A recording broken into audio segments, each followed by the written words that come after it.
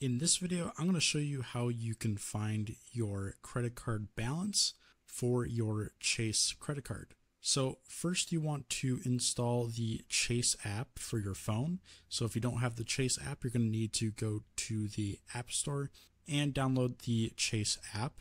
Once you do that, you want to go ahead and open up the Chase app. And if this is your first time using the Chase app, you're going to need to log into your Chase account. But from there, you should see your credit cards listed uh, on the homepage under the accounts tab. And we can go ahead and see our current credit card here. And the balance for that card should be listed right here. If it's not, you can go ahead and tap on it and you should see it at the top right corner right here.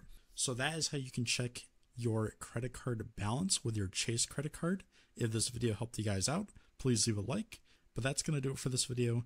Thank you so much for watching, and I hope this helped you out.